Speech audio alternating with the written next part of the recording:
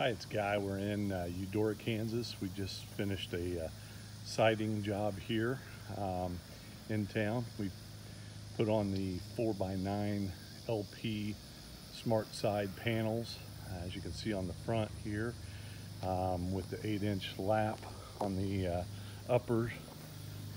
Um, so on each side, you can kind of see see the panels here and the panels going up, all new fascia. Uh, customer is going to put on the gutters and paint the house. I'll show you the eight inch lap here on the side.